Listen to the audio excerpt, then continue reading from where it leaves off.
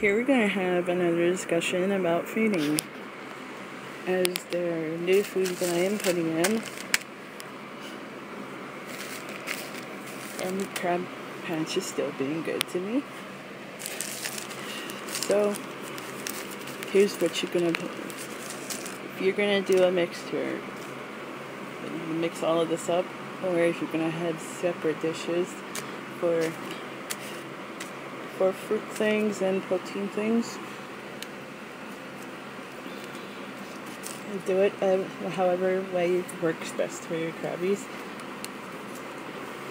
I like to mix all my things up some at, at times, so it would be more convenient. And sometimes I don't. So this is going to be a mixture of all dry stuff and it's going to have all of the food groups that would have.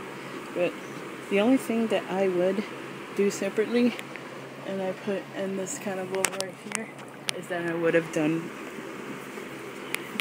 fed them fresh things or things that would spoil real quickly as far as fresh fruit or fresh meats or anything.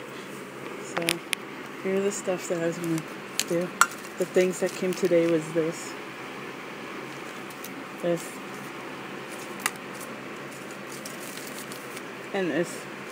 So I'm going to make sure that I will be including that in this bowl right here. I'm using this bowl right now. I am I am still toggling through different bowls but when I get my bigger tanks I would be getting a bigger bowl and a big and a shallow. So, but yet sometimes, sometimes bowls in your hermit don't get treated very equally because you know, um, they would knock down this bowl. See, I caught hexes knocking down this bowl sometimes. And this is the spoon that I use. I, they would how would I live after without this spoon and this little funnel and this thing when I would get my worm castings and and just to throw it in the substrate. So what I'm gonna be putting together is this. This is from the Hermit Crab Patch and this of this stuff. This and that. This is an assorted foliage that will go on your substrate. And this, but really, I am including more fruit stuff than protein, so I gotta, I gotta put more protein in there. So I have assorted nuts also that I could put in there too.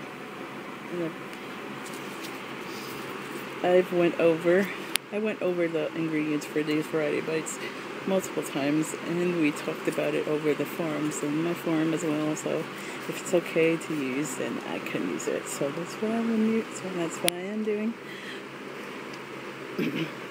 Any questions about foods that you should feed? And and what works best and what doesn't work? Um, send me some questions but please be really really nice about it. If you don't have anything good to say, please don't say it at all. Alright, good luck to you, everybody.